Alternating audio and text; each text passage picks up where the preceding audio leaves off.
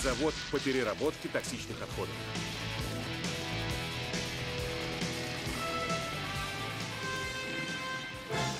Дамы и господа, добро пожаловать в музей Бифа Таннена. Достойнейший житель Хилл-Вэлли, величайший из живых легенд Америки, единственный и неповторимый Биф Таннен. Все мы о нем наслышаны, но каков он в жизни?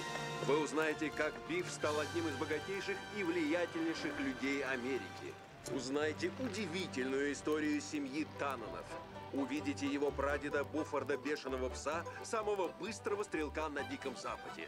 У Бифа скромный источник, но в 21 год на скачках он внезапно стал миллионером. Житель Хилл-Вэлли сорвал большой куш. Разделите с ним радость неслыханной череды побед, снискавшей ему титул самого везучего человека в мире. Смотрите, Биф не прогадал с империей Бифка. Бивко. Утилизация токсичных отходов. А в 1979-м